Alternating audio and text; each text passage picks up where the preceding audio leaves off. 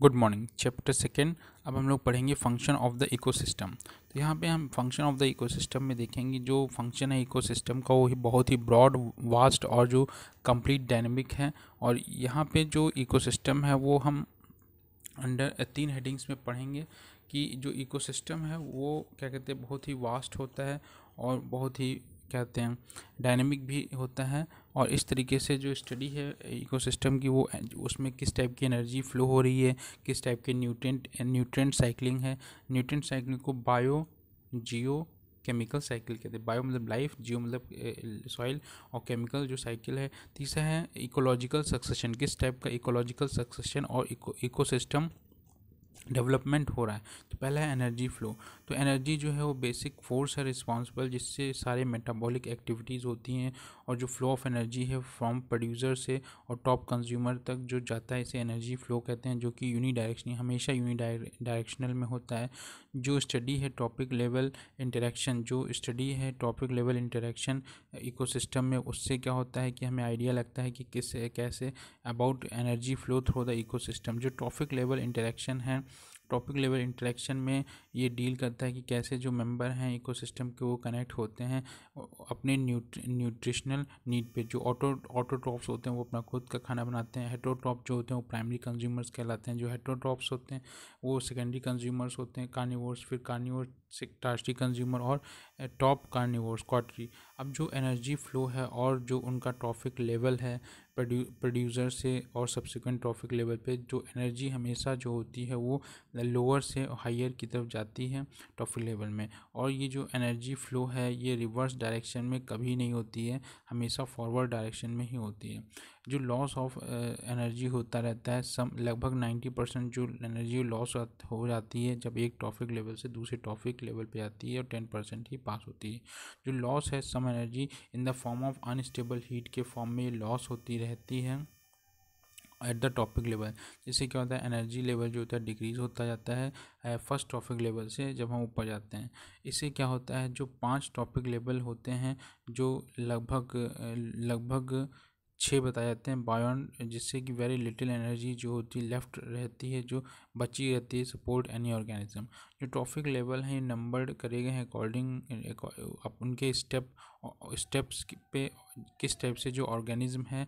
from the source of food energy लेता है from its producer जो trophic level trophic level interaction involve करती है थ्री कॉन्सेप्ट पे, कि फ़ूड चेन फ़ूड वेब और food pyramid food chain food web of ecological pyramid जो food chain होती है, जो जो फ़ूड चेन जब दो जो ऑर्गेनिज्म होते हैं, उनके बीच में जो फ़ूड एनर्जी का फ़ूड का चेंज होता है, उससे फ़ूड चेन जब बहुत सारे फ़ूड चेन जो होती हैं, वो आपस में इंटरेक्ट करनी थी तो उससे फ़ूड वेब बनती है और फ़ूड वेब से ही क्या होता है इकोलॉजिकल पिरामिड बनता है। तो फ़ूड चेन जो है, ये ऑर्गेनिज्म जो इकोसिस्टम में होते हैं, जब वो रिलेट करते हैं each other through feeding mechanism जो फीडिंग मैकेनिज़्म उसे ट्रॉफिक लेवल कहते हैं और एक या एक से अधिक ऑर्गेनिज्म जब, क्या कहते हैं फ़ूड फ़ूड लेते हैं फ्रॉम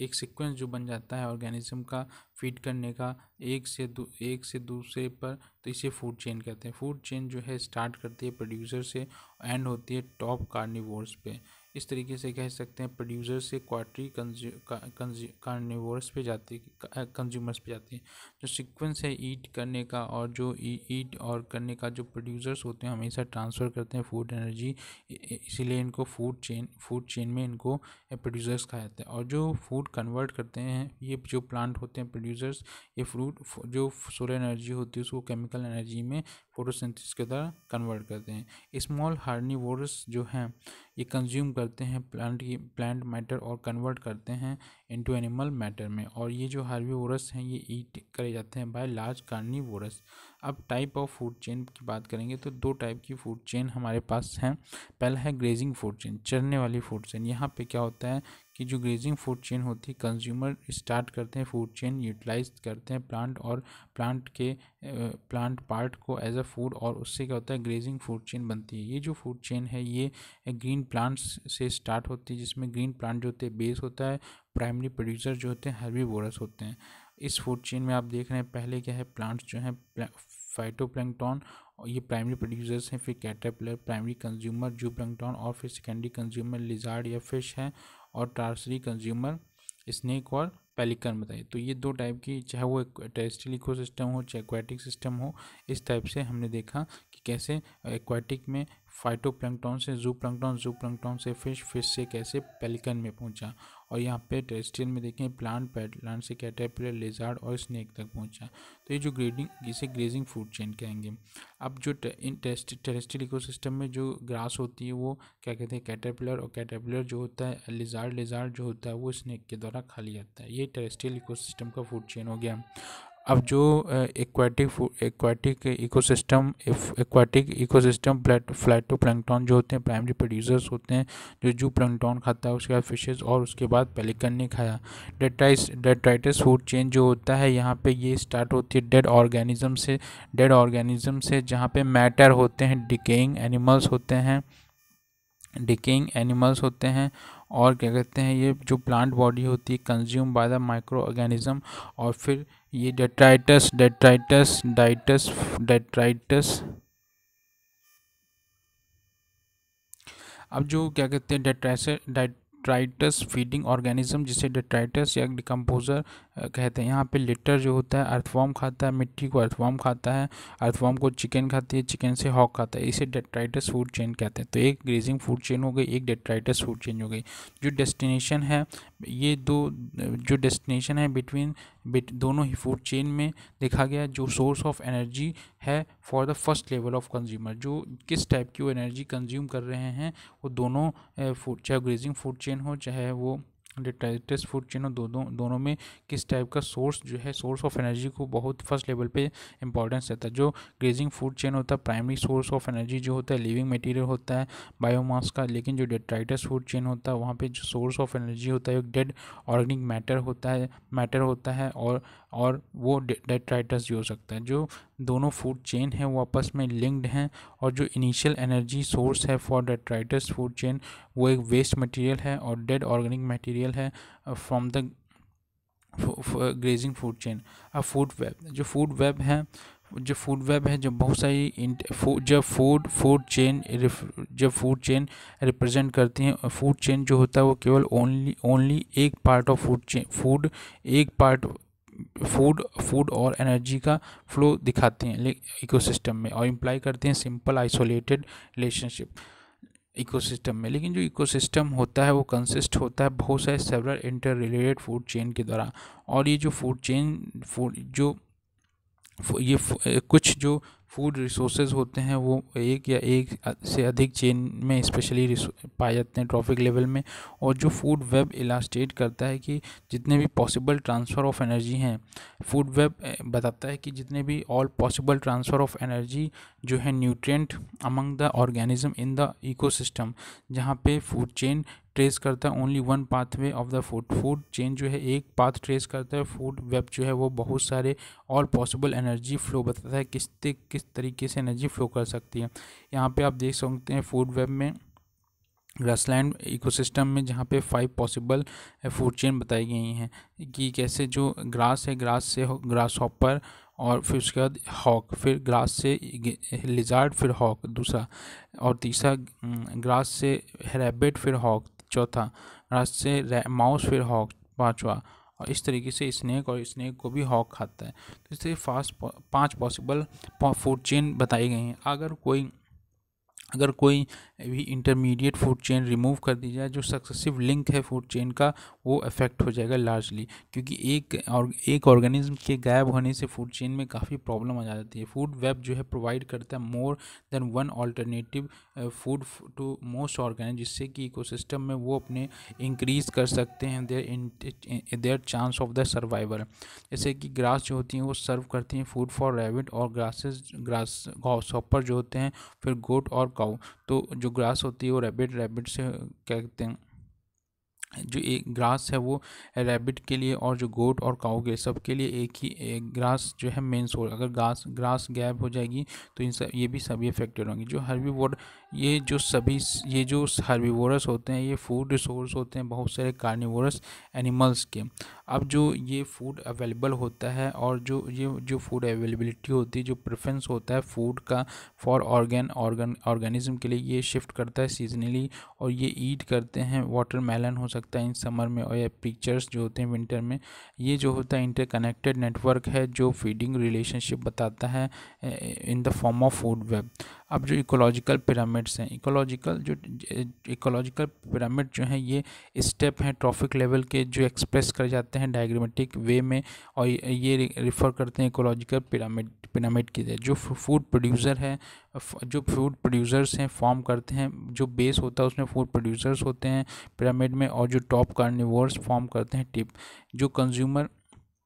कंज्यूमर होते हैं ट्रॉफिक लेवल में वो इनके बीच में रहते हैं। जो पिरामिड होते हैं, उसमें नंबर ऑफ़ हॉरिजेंटल बार्स होते हैं जो डिपिक्ट करते हैं उनके स्पेसिफिक ट्रॉफिक लेवल को, किसमें वो अरेंज करे जा रहे हैं sequentially from the primary producer से और प्राइमरी प्रोड्यूसर से कार्निवोर्स की तरफ़। जो लेंथ है, हर एक बार की रिप्रेजेंट करती है टोटल नंबर जो इंडिविजुअल हैं उस टॉपिक लेवल पे इन्हें इकोसिस्टम तो number of biomass number biomass और एनर्जी जो नंबर बायोमास और एनर्जी जो है ऑर्गेनिज्म की, ये ग्रेजुअली डिक्रीज होती जाती है। नंबर बायोमास और एनर्जी जो होती है ऑर्गेनिज्म की ग्रेजुअली डिक्रीज होती है from each step from the producer level से और कंज्यूमर लेवल तक। डायग्मेटिक रिप्रेजेंटेशन जब हम देखेंगे डायग्राम में तो पहला इकोलॉजिकल पिरामिड जो होते हैं, तीन तरीके होते हैं। एक पिरामिड ऑफ़ नंबर होता है, एक पिरामिड ऑफ़ बायोमास होता है, एक पिरामिड ऑफ़ एनर्जी और प्रोडक्टिविटी पहला pyramid of number pyramid of number जो होता है, ये जो डील करता है, किस टाइप का रिलेशनशिप है नंबर ऑफ़ प्रोड्यूसर्स और कंज्यूमर के बीच में डिफरेंट लेवल पे अब जो ग्राफिकल रिप्रेजेंटेशन होगा टोटल नंबर ऑफ़ जो इंडिविजुअल्स होंगे डिफरेंट स्पीशीज़ के, वो बिलोंग करेंगे ईच ट्रॉफिक लेवल में ecosystem depend upon the size और बायोमास उसका साइज़ क्या है और बायोमास क्या पिरामिड ऑफ़ नंबर जो है, वो नॉट ऑलवेज अपराइट वो अपराइट हमेशा नहीं रहता है और ये इवेंट भी कम्प्लीटली इन्वर्टेड तो दोनों हो सकता है अपराइट और अगर हम डिपेंड अगर उसके साइज़ और बायोमास पे बात बाय साइज़ और बायोमास पे देखें तो ये अपराइट और इन्वर्टेड आप अपराइट पहला देखेंगे। पिरामिड ऑफ़ नंबर्स में अपराइट ये जो पिरामिड होगा, यहाँ पे नंबर नीचे जो होगा, नंबर ज़्यादा होगा, जब ऊपर जाते जाएँगे तो नंबर कम होगा। जो नंबर ऑफ़ इंडिविजुअल्स हैं, ये डिक्रीज़ करते जाएँगे, लोअर से जब हम ऊपर की तरफ़ जाएँगे। इस टाइप के पिरामिड को हम देख सकते हैं ग्रासलैंड इकोसिस्टम में, जहाँ पे ग्रास को खाने वाले बहुत ज़्यादा एनिमल्स होते हैं। ग्रास को ग्रास बहुत ज़्यादा खाई जाती हैं और उसके बाद फिर हार्बिवरस कार्निवरस फिर कम होते जाते हैं और इस तरीके से टॉप कार्निवरस तक पहुँचते पहुँचते बहुत ही ये pyramid upright upright pyramid of number है ग्रास लैंड इकोसिस्टम का। ए जो है ये यहाँ पे कहते हैं एक ग्रासलैंड का है और बी जो है पॉन्ड पॉन्ड में भी ऐसे होता है कि जो ऑर्गेनिज्म होते हैं वो फ़िश, प्लंगटॉन फिर जो प्लंगटॉन और इस तरीके से फिशेस और हॉक। अब जो ग्रासेस होती हैं ऑक्यूपाई करती हैं लोएस्ट ट्रॉफिक लेवल में बेस में बिकॉज़ उनका जो अबेंडेंस है और जो next next next higher trophic level होता है प्राइमरी कंज्यूमर होता है, जो हरीवोरस ग्रॉस बताया गया जो individual individual number of grass होते हैं, वो लेस होते हैं ऊपर, बजाय ऊपर ऊपर के। तो नेक्स्ट जो एनर्जी लेवल होता है प्राइमरी कार्निवोरस होते हैं। जो number of number of rats हैं, वो लेस होते जा रहे हैं ग्रास ओपर के टर्म में देखें, क्योंकि वहाँ पे जो फ़ीड है ग्रास ओपर की, और जो नेक्स्ट टॉपिक लेवल है सेकेंडरी कार्निवोर्स की स्नेक की इस तरीके से जो नेक्स्ट टॉपिक जो नेक्स्ट हायर ट्रॉफिक लेवल है टॉप कार्निवोर्स उसमें हॉक पाया रहा है और जो ईच ईच टॉपिक लेवल है नंबर ऑफ़ इंडिविजुअल डिक्रीज़ करते जा रहे हैं। नंबर जो पिरामिड ऑफ़ नंबर अगर देखें इन्वर्टेड भी ज़्यादा जैसे हाइपर पैरासाइट बहुत ज़्यादा होते हैं। उसमें पैरासाइट मतलब क्या कहते हैं जैसे प्रोड्यूसर है। इन्वर्टेड में देखें, एक प्रोड्यूसर है प्लांट प्लांट पे बहुत सारी चिड़ियाँ हैं। हार्बिवोरस हैं। अब चिड़िया क्या कर रही हैं? पैरासाइट्स को खा रही हैं। तो बहुत सारे पैरासाइट्स को खा रही हैं और ये पैरासाइट जो हैं हाइपर पैरासाइट पे पाए जाते हैं। तो इस तरीके से जो ये पिरामिड ऑफ़ नंबर है, ये इन्वर्टेड कहा जा सकता है। अब जो इस पिरामिड में देखें तो जो नंबर ऑफ़ इंडिविजुअल हो रहे हैं, वो इंक्रीज़ होते जा रहे हैं फ्रॉम लोअर लेवल से हायर लेवल की तरफ़। तो इस टाइप का जो काउंट इन फॉरेस्ट देखने को मिलता है, जहाँ पे large number of large number small number of large producers होता है जैसे few number of big trees कुछ बड़े ट्री बिग ट्री में देखने को मिलता है। ऐसा क्यों होता है? क्योंकि जो प्राइमरी प्रोड्यूसर होता है, वो बहुत ही कम नंबर में होता है। और ये जो रिप्रेजेंट करता है बेस ऑफ़ फ्रामेट जो डिपेंडेंट होता है हार्वी वर्स जैसे बर्ड, और फिर ये जो होता है नेक्स्ट हाइयर ट्रॉफिक लेवल में पैरासाइट्स होते हैं और फिर आगे जाके हाइपर पैरासाइट जो होते हैं लार्जर ट्रॉफिक लेवल रिप्रेजेंट करते हैं। और ये जो होता है रिज़ल्ट, इससे क्या निकलता है कि पिरामिड जो होता है उल्टा देखने लगता है। पिरामिड इन्वर्टेड शेप में देखता है। पिरामिड ऑफ़ नंबर जो होता है does not take into account the fact जो, इस फैक्ट पे नहीं डिपेंड करता है कि साइज़ ऑफ़ ऑर्गेनिज्म हमेशा वो काउंट होगा ईच ट्रॉफिक लेवल पे वो वेरी करेगा। ये बहुत ही डिफ़िकल्ट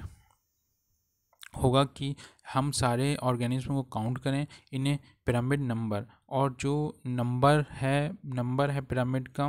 वो does not completely define the trophic structure of ecosystem दूसरा है पिरामिड ऑफ़ बायोमास बायोमास जो है, यहाँ पे बायोमास है, वो कम होता होता जाता है। और ज़्यादा भी। तो यहाँ पे जो over overcome overcome the shortcoming of the pyramid of number यही थी कि जो पिरामिड है बायोमास का यूज़ किया जाता है, इस अप्रोच में इंडिविजुअल जो होता है, हर एक ट्रॉफी लेवल पे वेट किया जाता है इंस्टेंट ऑफ़ काउंटिंग काउंटिंग नहीं किया जाता उसका वेट होता है और ये पिरामिड ऑफ़ बायोमास जो है टोटल ड्राई वेट जो टोटल ड्राई वेट है ऑल ऑर्गेनिज्म का हर एक लेवल पे एट ए पर्टिकुलर क्राइम जो नंबर ऑफ़ बायोमास है usually determined by collecting all जो organism occupying each trophic level separately और जो उनका मेज़र मेज़र करा जाएगा ड्राई वेट अब क्या जो ओवरकम होगा, जो साइज़ डिफरेंस होगा प्रॉब्लम प्रॉब्लम बिकॉज़ ऑल जो काइंड ऑफ़ ऑर्गेनिज्म हैं टॉपिक लेवल पे वो वेट करे जा रहे हैं जो जिसका मेज़रमेंट किया जाएगा ग्राम पर मीटर स्क्वायर एक मीटर स्क्वायर में कितने ग्राम होगा। अब यहाँ पे देखें अप, अप अपवर्ड पिरामिड जहाँ पे जो ग्रास है एक हज़ार के जी थी एक हज़ार के जी घास खाई किसने? हिरन हर्बीवोरस ने। तो उसके पास सौ के जी गई। अब उसके बाद सौ के जी मांस उसके पास गया। फिर सौ के जी हिरन को जब प्राइमरी कार्निवोर्स ने खाया तो उसके बाद दस के जी और इस तरीके से टॉप कार्निवोर्स में एक के तो इस तरीके से देखा बायोमास जो है वो कम ही होता चला गया। इसे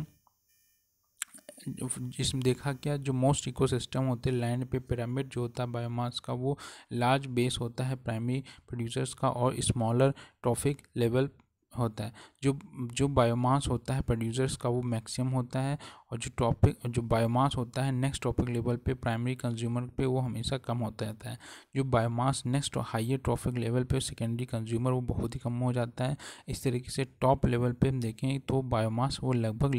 वेरी लेस अमाउंट देखने को मिला। जो इन्वर्टेड इन्वर्टेड पिरामिड अगर देखें तो इन कॉन्ट्रास्ट बहुत से एक्वाटिक इकोसिस्टम में जहाँ पे पिरामिड जो बायोमास का वो एज्यूम इन्वर्टेड भी हो सकता है। यहाँ पे हम देख रहे हैं कि जो यहाँ पे प्रोड्यूसर्स हैं वो चार ग्राम चार ग्राम पर मीटर स्क्वायर और फिर प्रोड्यूसर में आठ ग्राम पर मीटर स्क्वायर और फ़िश जो हैं वो बारह ग्राम पर मीटर स्क्वायर तो यहाँ पे देख रहे हैं कि जो बायोमास है बढ़ता जा रहा है। तो ये इन्वर्टेड पिरामिड जो है एक्वाटिक का, ये हम एक्वाटिक सिस्टम में देख सकता है। इस, ये इसलिए कहा जा सकता है कि जो प्रोड्यूसर्स हैं, वो टाइनी प्लंगटॉन्स हैं और जो ग्रो कर रहे हैं प्रोड्यूस कर रहे हैं रेपिडली जो नंबर ऑफ़ बायोमास है, वो बेस पे है और जो कंज्यूमर बायोमास है, वो उसी स्टैंड पे एक्चुअली एक्सटीड कर एक्सीड करता जा रहा है जो प्रोड्यूसर बायोमास हैं। इस तरीके से पिरामिड एज्यूम करेगा इन्वर्टेड शेप अब जो पिरामिड ऑफ़ एनर्जी होता है, वो हमेशा अपराइट होता है इन्वर्टेड कभी नहीं होगा। अगर हम कंपेयर करें functional role of trophic level में इन इकोसिस्टम में, अगर एनर्जी पिरामिड वो हमेशा सुटेबल वो हमेशा अपराइट और सुटेबल होता है। जो एनर्जी एनर्जी पिरामिड होते हैं और रिफ्लेक्ट करते हैं लॉ ऑफ़ डायनेमिक्स को। लॉ ऑफ़ डायनेमिक्स कहता है कि जो एनर्जी है, वो यूनी डायरेक्शनल होती है और जो कन्वर्जन है सोलर एनर्जी का केमिकल एनर्जी में केमिकल एनर्जी हीट एनर्जी में हर एक लेवल पे इस तरीके से जो लॉस ऑफ़ एनर्जी है, वो डिपेक्ट करता है कि हर एक हर एक लेवल पे जो ट्रांसफ़र ऑफ़ एनर्जी है उसमें कुछ ना कुछ जो इन्वायरमेंट में एनर्जी चली जाती है। इसलिए जो पिरामिड होते हैं, हमेशा अपराइट होते हैं ऑलवेज अपराइट कभी भी आप इन्वर्टेड मत कहिएगा। With a large energy base इसमें होता है बॉटम में और ये जो बेस्ट एग्जांपल यहाँ पे बताया गया कि जैसे कि कोई, सपोज़ एक इकोसिस्टम है जिसमें हज़ार कैलोरी लाइट एनर्जी हो रही है उस गिवन डे में। तो जो एनर्जी है वो नॉट एब्जॉर्ब मोस्ट मोस्ट जितनी भी एनर्जी वो सारी एब्जॉर्ब नहीं करी जा सकती, लेकिन कुछ रिफ्लेक्ट बैक भी हो जाएगी स्पेस में। अब जो energy absorb only few portion जो है वो एनर्जी एब्जॉर्ब हो पाती है। अब इससे क्या होता है जो यूटिलाइज करी जाती है प्लांट ग्रीन प्लांट के द्वारा और ये जो ग्रीन प्लांट होते हैं जिससे वो अपना एक रेस्पिरेशन करके हज़ार कैलोरी जो होती है, सौ कैलोरी फ़ूड एनर्जी स्टोर कर पाती है। और इसके बाद क्या होता है कि ये कुछ सपोज़ ये जो एक हज़ार किलो कैलोरी ग्रासेस में थी प्राइमरी में सौ किलो कैलोरी हो गई, फिर सेकेंडरी में दस कैलोरी और इस तरीके से जो हॉक है उसमें एक किलो कैलोरी तक पहुँचती है।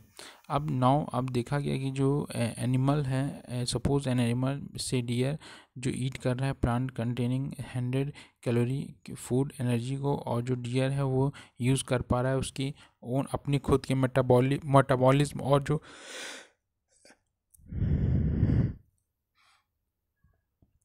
मेटाबॉलिज्म और जो स्टोर कर पा रहा है only ten calorie as a food energy और जो लॉयन है ईट कर रहा है डियर को, उससे क्या हो रहा है, उसको और भी कम अमाउंट ऑफ़ एनर्जी मिल रही है। इस तरीके से एनर्जी जो डिक्रीज़ कर रही है सनलाइट से, जो सनलाइट जो प्रोड्यूसर है कार्निवोर्स हार्बिवोर्स टू कार्निवोर्स इसलिए जो एनर्जी है हमेशा अपराइट में चलती है और एनर्जी पिरामिड जो होते हैं कॉन्सेप्ट ये हेल्प करता है explain the phenomena of biological magnification जिससे बायोलॉजिकल मैग्नीफिकेशन जो होता है, इससे जैसे जो पॉल्यूटेंट होते हैं, जो मरकरी हो, या फिर जो है हैवी मेटल्स होते हैं, वो हमें टॉप मोस्ट कार्निवोर्स में देखने को मिलते हैं, क्योंकि वहाँ पे उसका डिपोजिशन होने लगता है, जो टेंडेंसी है for for for toxic substance to increase in concentration progressively at higher level of food chain जो पॉल्यूटेंट हैं, जो पॉल्यूटेंट और ट्रॉफिक लेवल हर एक लेवल पे जो पॉल्यूटेंट हैं और जो ट्रॉफिक जो पॉल्यूटेंट होते हैं स्पेशली जो बायोडिग्रेबल होते हैं, वो तो कहते हैं मूव कर जाते हैं through various trophic level equal लेकिन जो नॉन बायोडिग्रेबल पॉल्यूटेंट होते हैं, वो पास नहीं हो पाते हैं मेटाबोलाइज नहीं हो पाते हैं, इस तरीके से वो लिविंग ऑर्गेनिज्म में डिपॉजिट होते हैं। जैसे example chlorinated hydrocarbon chlorinated hydrocarbon जो है, ये क्या कहते हैं डिपॉजिट होता रहता है, और जिससे क्या होता है कि ये ये कहते हैं फिनोमेना जो है, इसे जिससे द्वारा ये टुगेदर इनेबल करता है small concentration of chemical in the environment और ये जो होता है ऑर्गेनिज्म में हाई इनफ डोज होता है, जिससे प्रॉब्लम हो जाती है, जो मूवमेंट ऑफ़ दीज पॉल्यूटेंट अब ये जो मूवमेंट होता है, इन सभी पॉल्यूटेंट का involve two main process called bioaccumulation और बायो मैग्निफिकेशन जो बायो एक्यूमुलेशन होता है, उसमें पॉल्यूटेंट जो होते हैं एक्यूमुलेट होते रहते हैं और बायो मैग्निफिकेशन जो होता है, उसमें एक लेवल से दूसरे लेवल पे वो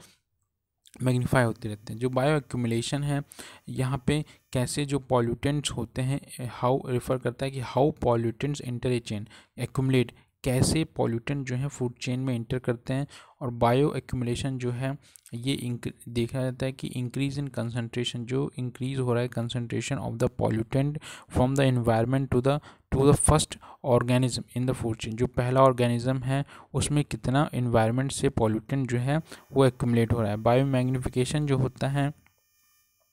जैसे कि वन से one thousand one thousand ten thousand ten thousand से वन लैख वन लैख से वन मिलियन और वन बिलियन। इस तरीके से जो टेन बिलियन और इस तरीके से जो बायो मैग्नीफिकेशन है बायो मैग्नीफिकेशन ये बताता है कि रिफ़र करता है कि टेंडेंसी ऑफ़ पॉल्यूटेंट जो टेंडेंसी है पॉल्यूटेंट की टू कंसनट्रेट जैसे ऐसे मूव करता है वन ट्रॉफिक लेवल से टू अनदर नेक्स्ट लेवल पे। इस तरीके से बायो मैग्नीफिकेशन जो है वो इंक्रीज होती है in concentration of the pollutant from one link in the food chain to another तो बायो एक्यूमलेशन है, पता चलता है कि किस पॉइंट से वो फ़ूड चेन में इंटर हुआ एक्यूमलेट हुआ। लेकिन जो बायो मैग्नीफिकेशन है, ये नॉन मेटाबोलाइजिंग होता है, इसलिए वो हमेशा नेक्स्ट जो ट्रॉफिक लेवल है, उसे बढ़ता जाता है। जो ऑर्डर है बायो मैग्नीफिकेशन का, वो अकर होता है पॉल्यूटेंट जो होता है। पॉल्यूटेंट जो होते हैं मोस्ट पॉल्यूटेंट जो होते हैं, वो long lived mobile soluble in fat fat में सॉलिबल होते हैं बायोलॉजिकली एक्टिव होते हैं, और non lived non long lived होते हैं। जो पॉल्यूटेंट होते हैं बायो मैग्निफिकेशन में जो पॉल्यूटेंट होते हैं must be long lived mobile होते हैं soluble in fat biological active लेकिन इफ़ अगर कोई पॉल्यूटेंट जो शॉर्ट लिव्ड है और ये ब्रोक ब्रोकन डाउन किया जा सकता है before it can go it can become dangerous dangerous से पहले ही ब्रोकन करा जा सकता है। If it is not mobile अगर वो मोबाइल नहीं है will stay in the one place अगर वो स्टे कर जाता है एक प्लेस पे और is unlikely to be taken up by the organism अगर कोई पॉल्यूटेंट अगर कोई पॉल्यूटेंट सॉल्बल है वाटर में, अगर कोई पॉल्यूटेंट सॉल्बल है वाटर में और वो एक्स एक्सक्रीट किया जा सकता है बाय द ऑर्गेनिज्म पॉल्यूटेंट जो होते हैं that dissolve it dissolve in fat however they can be retained for long time अब जो ट्रेडिशनल जो ट्रेडिशनल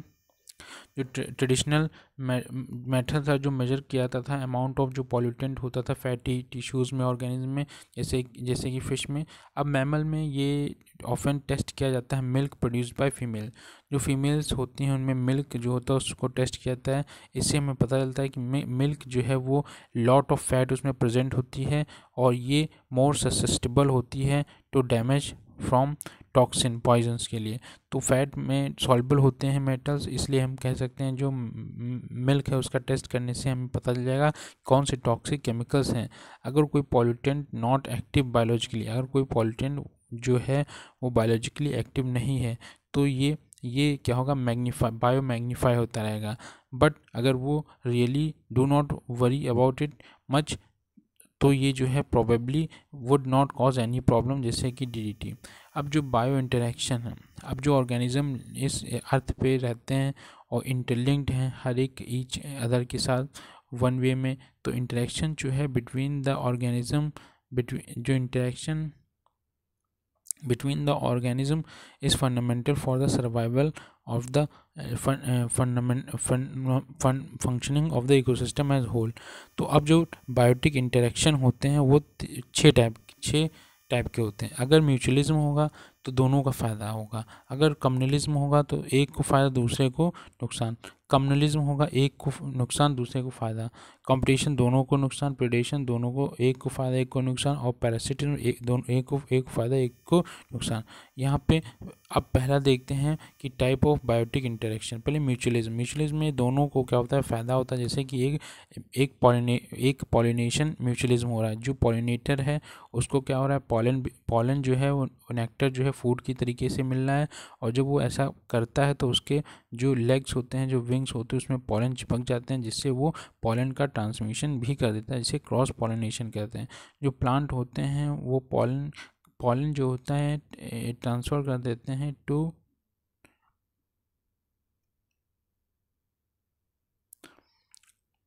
जो प्लांट होते हैं, वो पॉलन पॉलन जो होते हैं नेक्टर उससे फ़ूड मिलता है और जो वो पॉलन को ट्रांसफ़र कर देते हैं जिससे कि क्रॉस पॉलिनेशन इसे इससे ये रिप्रोडक्शन प्लांट का हो जाता है। इससे दोनों का फ़ायदा हो जाता है, दूसरा है कम्युनलिज्म कम्युनलिज्म में एक का तो फ़ायदा होता है, एक का, एक अनफेक्टेड रहता है। एक इसमें होता है, एक स्पीशीज़ बेनिफिट पा जाती है और दूसरा अनफेक्टेड जैसे काउडग है। प्रोवाइड करती है food and shelter to dung beetles जो डग बीटल्स होते हैं काउडग में जो छोटे छोटे गोबर के अंदर कीड़े हो जाते हैं, डग बीटल्स। ये बीटल जो होते हैं have no effect in the cow cow पे कोई इफ़ेक्ट नहीं डालते हैं, लेकिन बीटल का अपना फ़ूड मिल जाता है। कंपटीशन में दोनों का नुकसान होता है। Both species are harmed by interaction अगर दो species eat the same food अगर दो स्पीशीज़ सेम फ़ूड खाती हैं तो उनके लिए कंपटीशन बढ़ जाएगा। और कहते हैं इट इज़ क्योंकि उनके पास इनफ फ़ूड नहीं रहेगा और उनको एक्सेस करने के लिए लेस फ़ूड बचेगा। अब उनको इसके लिए टॉलरेट करना पड़ेगा और सफ़र करेंगे शॉर्टेज ऑफ़ फ़ूड की, जो प्रोडे प्रोडेशन में होता है पैरासिटिज्म पैरासिटिज्म में एक को, एक स्पीशीज़ को बेनिफिट होता है और दूसरे को क्या होता है? नुकसान। जो प्रोडेशन होता है एक फ़िश अगर किल होती है तो वो ईट करती है पैरासिट्स को। एक अगर कोई अगर कोई one fish kills and eat parasitism parasitism जो टिक गेन होते हैं बेनिफिट बाय सकिंग ब्लड जो जो टिक्स होते हैं, केचुल होती है और ब्लड को सक करती है तो एक host is harm by the hosting hosting food जो होस्ट होता है वो होस्टिंग होस्टिंग जो होस्ट होता है वो लूजिंग ब्लड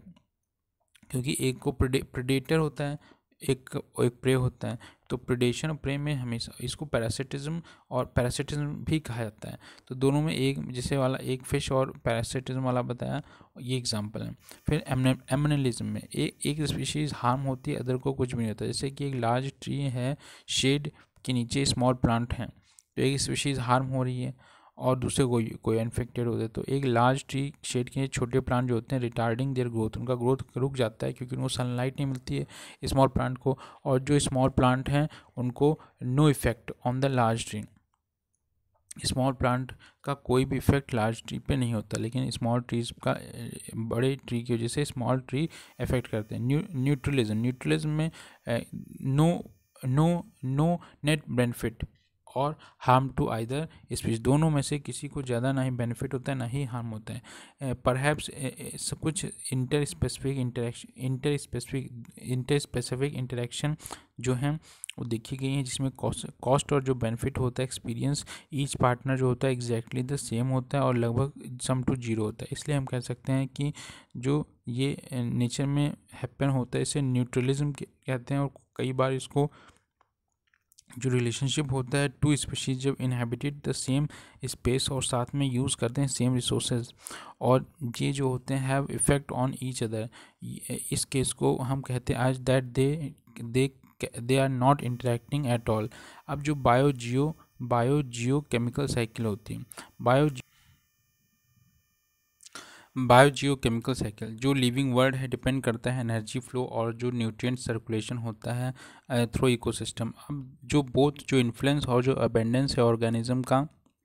ये मेटाबॉलिक जो रेट है, ये उनको ज़िंदा रखती है और जो कॉम्प्लेक्सिटी होती हैं इकोसिस्टम में एनर्जी जो फ्लो होता है इकोसिस्टम में, ये इनेबल करता है ऑर्गेनिज्म की वो परफॉर्म करें वेरियस काइंड ऑफ़ जो वर्क और जो एनर्जी यूटिलाइज कर रहे हैं और अल्टीमेटली जो लॉस्ट होती जा रही है हीट जो in terms of usefulness of the system अगर हम न्यूट्रेंट जो न्यूट्रेंट होते हैं फ़ूड मैटर के वो कभी never get up use up कभी ख़त्म नहीं होते हैं और ये रिसाइकल्ड अगेन अगेन होते रहते हैं इन इनडेफिनेट टाइम तक। जैसे कि अगर हम ब्रीथ करते हैं तो इनहेलिंग करते समय सेवरल मिलियन ऑफ़ एटम जो हैं एलिमेंट के वो हमारे इनहेल होते हैं बाय अवर एंसेस्टर्स और अवर ऑर्गेनिजम्स से। कार्बन, हाइड्रोजन, ऑक्सीजन, नाइट्रोजन और फॉस्फोरस जो हैं, ये एलिमेंट और कंपाउंड जो हैं, लगभग 97 परसेंट जो मास है ऑफ़ आवर बॉडी बनाते हैं और मोर देन 95 परसेंट जो मास है of all living living organism का। साथ में ये पंद्रह से पंद्रह से पच्चीस परसेंट पंद्रह से पच्चीस अदर एलिमेंट जो होते हैं पंद्रह, इसके अलावा पंद्रह से पच्चीस अदर एलिमेंट्स जो होते हैं, उनकी ज़रूरत होती है फॉर सर्वाइवल और good health of plant and animal ये जो एलिमेंट्स होते हैं और जो मिनरल जो एलिमेंट और मिनरल न्यूट्रेंट होते हैं, हमेशा सर्कुलर मूविंग करते रहते हैं from non living to living non living से लिविंग क्योर और फिर ये बैक आ जाते हैं non living component of the ecosystem और ये मोर और लेस सर्कुलर फ़ैशन में होते हैं। इस, इसीलिए इस सर्कुलर फ़ैशन को बायो जियो केमिकल साइकिल कहते हैं। बायो मतलब लिविंग जियो मतलब एटमॉस्फेयर में एटमॉस्फेयर में, जो न्यूट्रिएंट साइकिलिंग है, ये क्या कहते हैं कॉन्सेप्ट जो है डिस्क्राइब करता है कैसे जो न्यूट्रिएंट हैं मूव करते हैं फ्रॉम फ़िज़िकल इन्वायरमेंट से लिविंग इन्वायरमेंट फ़िज़िकल इन्वायरमेंट से लिविंग ऑर्गेनिज्म के बीच में। और साथ में ये रिसाइकिल जो होती है बैक फिर से फ़िज़िकल इन्वायरमेंट में ही आ जाती है। ये जो मूवमेंट है न्यूट्रिएंट का फ्रॉम इन्वायरमेंट इनटू प्लांट और एनिमल्स में, ये again back to the environment is essential जो कि एसेंशियल है लाइफ और ये ये कहते हैं vital function of the ecology ecology के लिए बहुत इंपॉर्टेंट है एनी रीजन के लिए इन एनी पर्टिकुलर इन्वायरमेंट जो मेंटेन करता है organisation in a sustained manner में। जो न्यूट्रन जो न्यूट्रिएंट साइकिल होती है, वो हमेशा केप्ट बैलेंस और स्टेबल बनी रहती है। हमेशा बैलेंस और स्टेबल बनी रहती है। जो न्यूट्रिएंट साइकिलिंग होती है, वो टिपिकली स्टडी करी जाती है in the term of the specific nutrient एक खास न्यूट्रिएंट के साथ और हर एक न्यूट्रिएंट जो होता है इन्वायरमेंट में, उसका अपने एक पर्टिकुलर पैटर्न होता है साइकिलिंग का। और मोस्ट इंपॉर्टेंट न्यूट्रिएंट साइकिलिंग जो है कार्बन न्यूट्रिएंट साइकिलिंग और नाइट्रोजन न्यूट्रिएंट साइकिलिंग क्योंकि कार्बन जो है, वो हमारा डीएनए बनाता है, जो हमारा ग्लूकोज एनर्जी के लिए होता है और जो नाइट्रोजन है, वो भी डीएनए बनाता है और ये प्रोटीन्स भी बनाता है। और हारमोन्स बनाता है और इंजाम्स प्रोटीन बनाता है। तो ये जो कार्बन और नाइट्रोजन है, ये बहुत बहुत जो है साइकिल ये एसेंशियल पार्ट हैं ओवरऑल सॉइल न्यूट्रिएंट साइकिल ये जो सॉइल न्यूट्रिएंट सॉइल हैं, उसी के पार्ट हैं। कार्बन और जो न्यूट्रि नाइट्रोजन है। ये दोनों ही जो हैं there are many other nutrient और भी न्यूट्रिएंट हैं जो इंपॉर्टेंट हैं इकोसिस्टम जिसमें एक large number of trace mineral mineral nutrient भी पाए जाते हैं। अब जो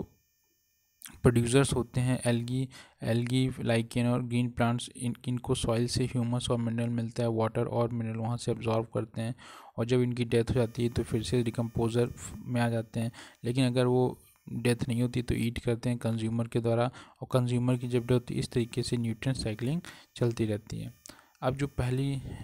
टाइप ऑफ़ न्यूट्रिएंट साइकिलिंग की बात करें तो जो रिप्लेसमेंट किस तरीके से रिप्लेसमेंट होता है रिप्लेसमेंट पीरियड है न्यूट्रिय साइकिलिंग का, ये रिफ़र किया जा सकता है परफेक्ट और imperfect based on replacement period किस, कितने दिनों के बाद ये पीरियड कहते हैं रिप्लेस हो जाएगा, इसलिए परफेक्ट और इम्परफेक्ट बताया गया है। जो परफेक्ट न्यूट्रिएंट साइकिलिंग है, जहाँ पे न्यूट्रिएंट जो होते हैं रिप्लेस कर दिए जाते हैं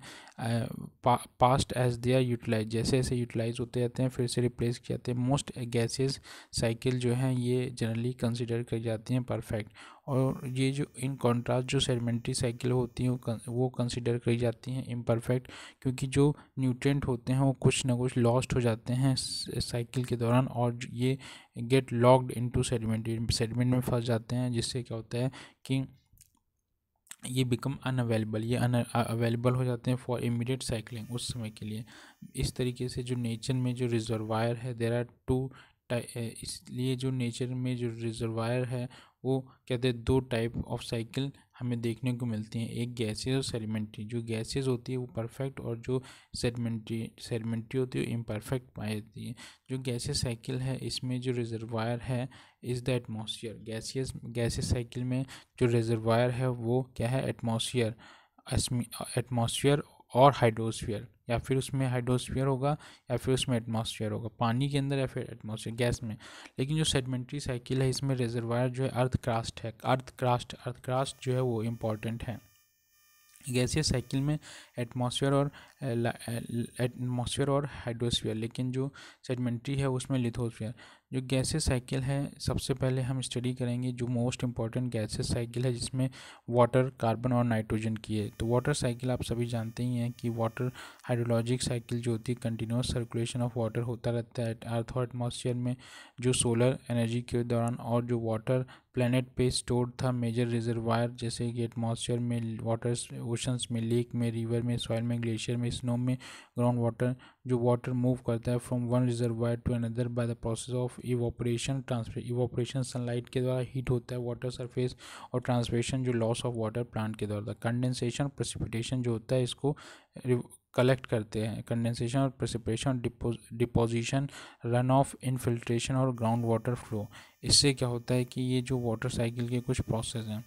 ये बताया गया इवोपरेशन जो होता है, वो ट्रांसलेशन सनलाइट के द्वारा ये कंडेंस फिर कंडेंस पेपर्स बनती हैं और इससे क्या होता है क्लाउड बनते हैं। क्लाउड से फिर प्रेसिपिटेशन होता है। सिचुएशन के दौरान इस तरीके से वाटर साइकिल चलती रहती है। लेकिन जो कार्बन साइकिल है,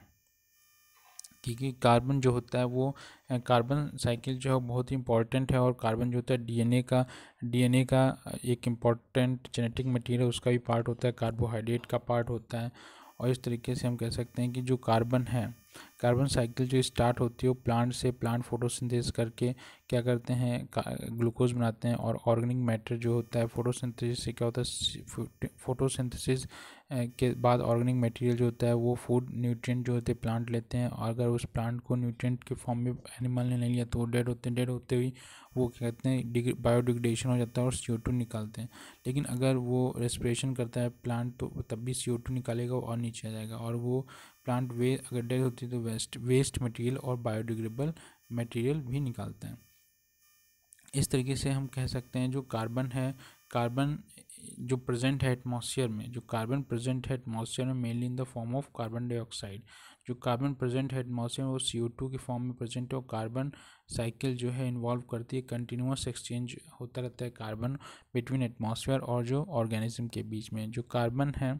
atmosphere moves to green plant और ये जो प्रोसेस है फोटोसेंसिस कहलाती है क्योंकि उसमें सी टू जो होती है वो ग्लूकोज में कन्वर्ट होती है और फिर वो एनिमल्स में पहुँचती है। इस, ये जो प्रोसेस है रेस्पिरेशन और डिकम्पोजिशन का dead organic dead organic matter का ये return back to the atmosphere इस तरीके से ये यूजली शॉर्ट टर्म साइकिल होती है। अब जो ये कार्बन होता है, ये ऑल्सो लॉन्ग टर्म साइकिल में भी जा सकता है। कुछ कुछ कार्बन जो होता है इंटर करता है लॉन्ग टर्म साइकिल में। इसमें क्या होता है, ये एक्यूमुलेट हो जाता है एज अनडिकम्पोज ऑर्गेनिक मटीरियल में। मतलब ये एक्यूमुलेट कर हो जाता है अनडिकम्पोज जो डिकम्पोज इसका नहीं होता है ऑर्गेनिक मैटर में peaty peaty peaty layer of marshy soil और इनसॉल्युबल कार्बोनेट के फॉर्म में इन द बॉटम सेडिमेंट तो अगर ये in insoluble carbon insoluble insoluble carbonate insoluble carbonate के फॉर्म में सेडिमेंट में अगर डिपॉजिट हो जाता है तो ये ये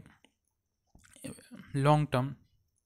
साइकिल प्रोसेस में चलाता है ऑफ़ एक्वाटिक सिस्टम में, जहाँ पे लॉन्ग टाइम इसको रिलीज़ होने में लगेगा। अब जो डीप ओशंस हैं, जहाँ पे carbon remain buried for million of years till geological movement जब तक में lift these rocks above sea level जब ये जो डी ओशंस हैं जहाँ पे कार्बन जो है रिमेन बरी हो जाएगा मिलियन ऑफ़ ईयर्स ईयर्स के लिए टिल जब तक कि कोई जियोलॉजिकल मूवमेंट नहीं होगा जो इन रॉक्स को अब सी लेवल के ऊपर ला सके।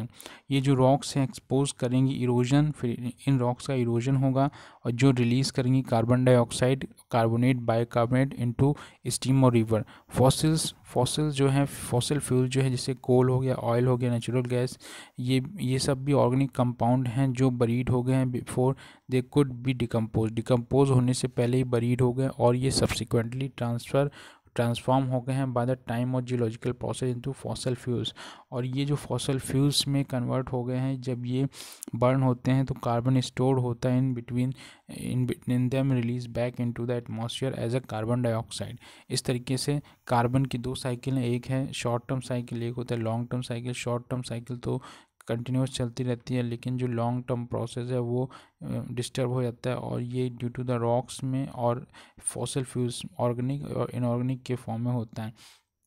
जब तक कि ये ह्यूमन के द्वारा ऑर्गेनिक और जो इनऑर्गेनिक वॉल्केनोज इस तरीके सी लेवल पे ऊपर नहीं जो दूसरा है nutrient cycling nitrogen cycle nitrogen जो है एसेंशियल कंपोनेंट है प्रोटीन का और जो कि बेसिक यूनिट है बिल्डिंग ब्लॉक की ऑल लिविंग टिश्यू ये कंस्टिट्यूट करता है लगभग 16 परसेंट जो वेट होता है ऑल प्रोटीन्स का। और ये जो यहाँ पे जो क्या कहते हैं नाइट्रोजन है वो एटमॉस्फेयर में एन के फॉर्म में पाई जाती है लगभग नाइन्टी नाइन्टी एट परसेंट तक। लेकिन सबसे बड़ी प्रॉब्लम ये seventy one percent seventy one twenty हाँ लेकिन सबसे सेवेंटी लेकिन सबसे बड़ी प्रॉब्लम है कि यहाँ पे जो एन टू है, ये डायरेक्ट यूज़ नहीं कर सकते प्लांट इसलिए कुछ ऐसे बैक्टीरिया होते हैं जो नाइट्रोजन जो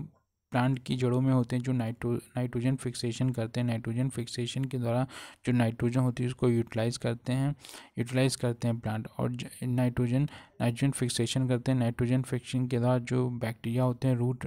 रूट में जो नोड्यूस होते हैं ऑफ़ द लेग्यूम फैमिली में, इस तरीके से नाइट्रोजन फिक्सेशन करते हैं और कुछ बैक्टीरिया जो होते हैं, फिक्स करते हैं सॉइल में। जैसे कि है नाइट्रोजन फिक्सेशन के दौरान जो होता है अमोनिया बनती है। अमोनिया से फिर अमोनियम बनता है। अमोनियम जो होता है, वो प्लांट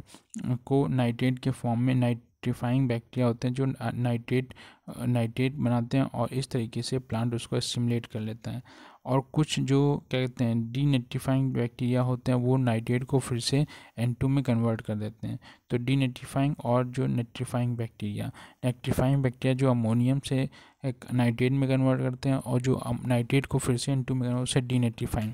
और यहाँ पे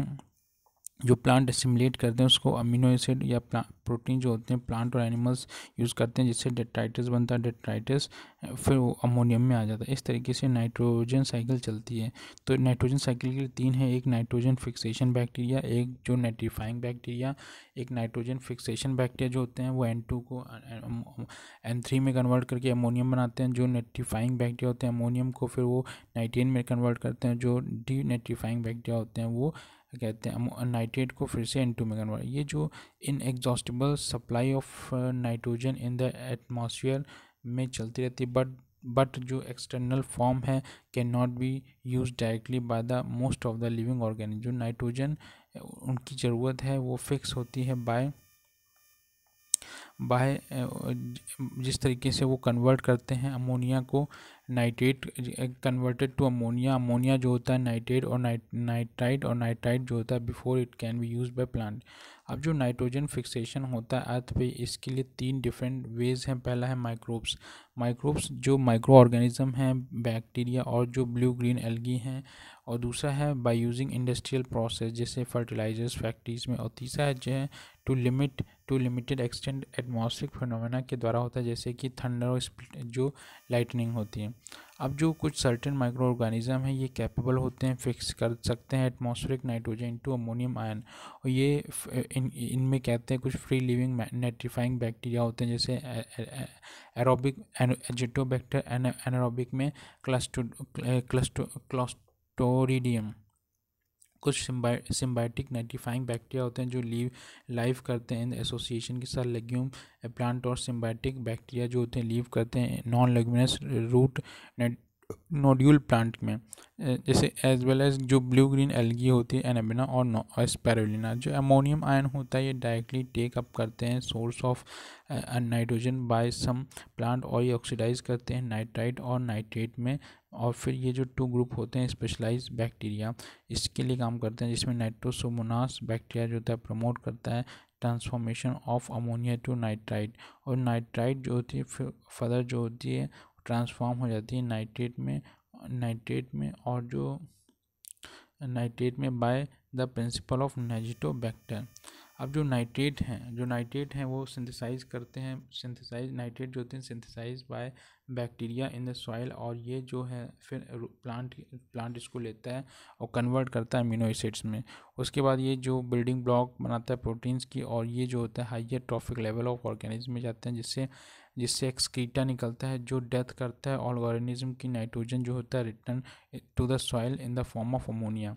अब ये जो सर्टेन क्वांटिटी ऑफ़ जो सॉइल नाइट्रेट होता है, वो हाईली सॉल्बल होती है वाटर में, जिससे lost lost to the system और ये ट्रांसपोर्ट होती है away by the surface run off of the ground water in the soil साथ में जो ओशंस होते हैं स्पेसिफिक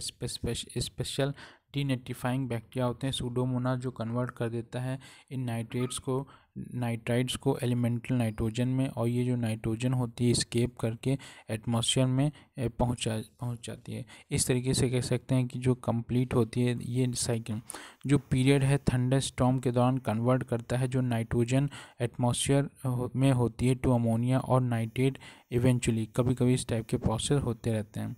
तो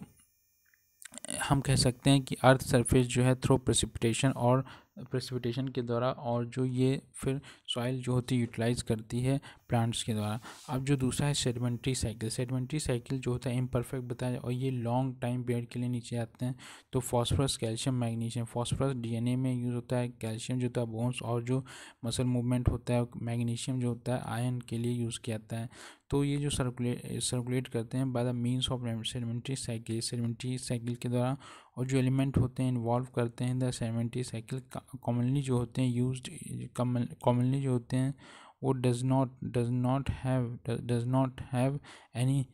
does not have does not have does not cycle through the atmosphere ये फॉलो करते हैं basic pattern of flow through the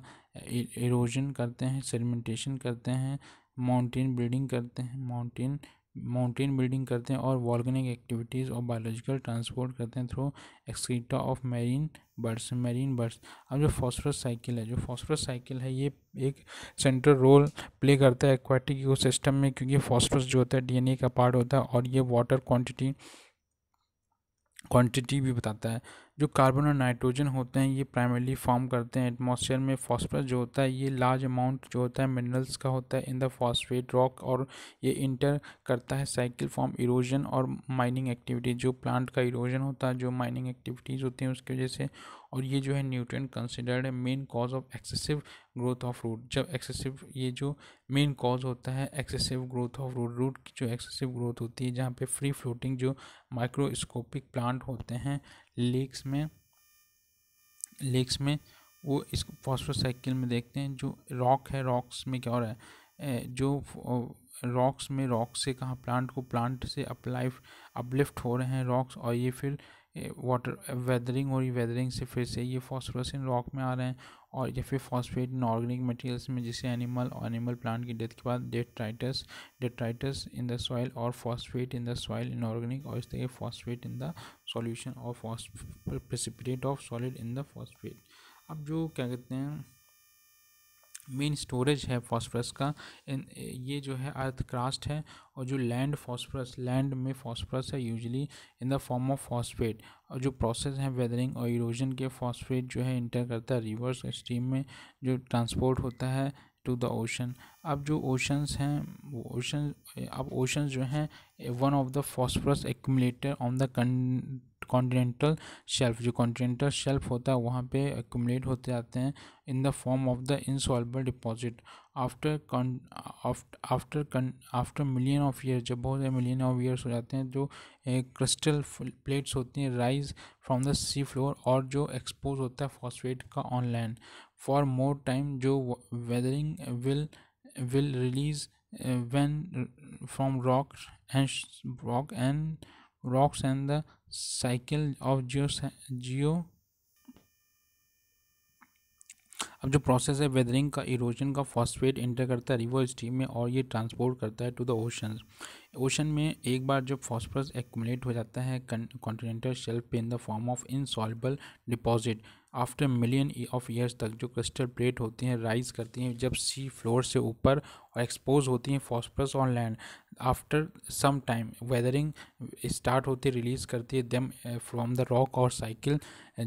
geochemical geochemical cycle begin होती है, जो सल्फ़र है। सल्फ़र जो है रिजर्वायर है is in the soil sulphur का जो रिजर्वायर है, वो सॉइल में और सेडिमेंट जो है जहाँ पे ये लॉक्ड हो चुका है ऑर्गेनिक कोल में ऑयल में पीट में इनऑर्गेनिक डिपॉजिट जैसे पायराइट रॉक और sulphur rock in the form of sulphur sulpha sulphate sulphide और ऑर्गेनिक सल्फ़र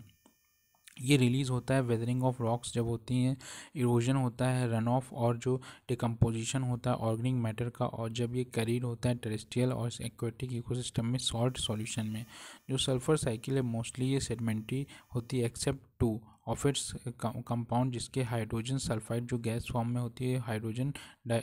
सल्फ़र डाइऑक्साइड ये गैस फॉर्म में होती है। इन नॉर्मल सेडिमेंट्री साइकिल जो सल्फ़र इंटर करता है एटमॉस्फेयर में फॉर्म सेवरल सोर्सेज जैसे कि वॉल्कनिक इरप्शन के द्वारा combustion of the fossil fuel और फ्रॉम सरफेस ऑफ़ ओशन और अदर फॉर्म्स जो रिलीज़ होती हैं बाय डिकम्पोजिशन एटमॉस्फेरिक जो हाइड्रोजन सल्फाइड है, वो गेट ऑक्सीडाइज हो जाती है इनटू सल्फ़र डाइऑक्साइड और जो एटमॉस्फेरिक सल्फ़र डाइऑक्साइड है, ये carried carried back to the earth after dissolved dissolve into rain rain water as a weak sulphuric acid और इस तरीके से जो सल्फ़र है, जो पहुँच रहा है एटमॉस्फेयर में और जो एच टू एस है, ये पहुँच रहा है एटमॉस्फेयर में जो बारिश हो रही है कहते हैं ड्राई डिपोजिशन या फिर वेट डिपोजिशन दो टाइप का एसिड रे स्नो में और फिर ये ऑर्गेनिक डिपोजिशन जो होता है ये नीचे सल्फेट में और ये सल्फेट में, इस तरीके से सल्फाइड में सॉइल सॉइल सेडिमेंट में डिपॉजिट होता रहता है। अब जो जो भी सोर्सेज हैं सल्फ़र के in the form of sulphate और ये जो टेक प्लांट जिससे प्लांट और इनकॉर्पोरेट करता है series of metabolic process into sulphur जिस, जो सल्फ़र जो होता है अमीनो एसिड्स में होता है और ये इनकॉर्पोरेट करता है प्रोटीन जिससे ऑटोट्रॉफ टिश्यू में। फिर ये पास आउट हो जाता है ग्रेजिंग फ़ूड चेन में। जो सल्फ़र होता है वो लिविंग ऑर्गेनिज्म में कैरिड होता है, फिर बाद में सॉइल में और बॉटम ऑफ़ द पॉन्ड और लेक और सीज में एक्सक्रीशन और decomposition of the dead organic material के द्वारा। जो बायो जो केमिकल साइकिल है, ये डिस्कस हुई है, जहाँ पे हमने not only a few of many cycle बहुत प्रेजेंट होती हैं इकोसिस्टम में, और बहुत सारी जो साइकिल्स होती हैं, do not operate in, independently independently नहीं होती, बल, बट इंटरेक्ट करते हैं with each other other at some point और अदर। अब जो इकोलॉजिकल सक्सेशन होता है सक्सेशन क्या होता है? धीमे धीमे बेयर रॉक से वहाँ पे फॉरेस्ट कैसे बनते हैं? जो सक्सेशन होता है, वो यूनिवर्सल प्रोसेस है, जो डायरेक्शनल चेंज जो होते हैं वेजिटेशन में on the ecological time scale पे। जो सक्सेशन हमेशा सीरीज़ ऑफ़ कम्युनिटी जो होती है रिप्लेस कर जाती हैं। Another due to the large scale destruction either natural या फिर मैन मेड ये जो प्रोसेस होता है कंटिन्यू रहता है जब एक कम्युनिटी रिप्लेस कर देती है। अनदर कम्युनिटी को until stable mature community develop नहीं करती। सक्सेशन जो है प्रोग्रेसिव सीरीज़ है, जहाँ पे चेंज जो होते हैं लीड करते रहते हैं to establishment of relatively stable climax community यहाँ पे क्लाइमैक्स कम्युनिटी है, जैसे एनुअल प्लांट थे, फिर पेरेनियल प्लांट हैं फिर शब्स फिर सॉफ्टवुड ट्रीज़ और उसके बाद हार्डवुड ट्रीज़ इसे इकोलॉजिकल सक्सेशन कहेंगे। जो फ़र्स्ट प्लांट होते हैं, जो कॉलोनाइज करते हैं एरिया में, उसको पाइनियर कम्युनिटी कहते हैं। पाइनियर जो पहली बार आए हैं और जो फाइनल स्टेज जो होती है succession is called the circular climax committee जो फाइनल स्टेज होती है, उसको क्लाइमैक्स कमेटी क्लाइमैक्स कमेटी जो पहली बार आती है, उसको पाइनियर ये जो स्टेजेस लीड करती हैं क्लाइमैक्स कमिटी को उसको सेवरल स्टेजेस को उसको सीरीज़ सीरीज़ सीरीज़ कहते हैं, जो सक्सेशन है कैरेक्टराइज करा जाता है बाय बाय फॉलोइंग अगर इंक्रीज हो रहा है प्रोडक्टिविटी शिफ्ट कर रहा है न्यूट्रिएंट को from the from from the reservoir और इंक्रीज हो रही diversity of the organism with increase niche development जो ग्रेजुअल इंक्रीज हो रहा है complexity of food chain primary succession जो होता है, जहाँ पे टेस्टियल साइट जो होती है न्यू साइट में फाइनल कॉलोनाइज करता है। A few hard hardy pioneer species जो होती हैं, वो फिर माइक्रोब्स लीचन और मॉसेस में जो पाइनियर